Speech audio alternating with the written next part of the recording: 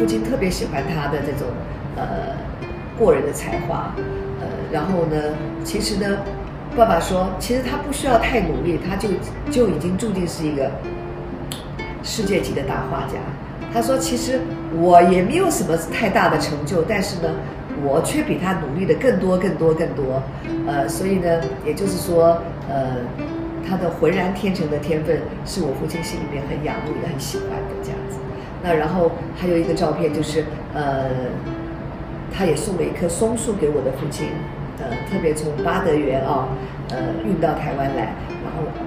放到我们家花园，呃，一张一棵树一一棵老的松树，呃，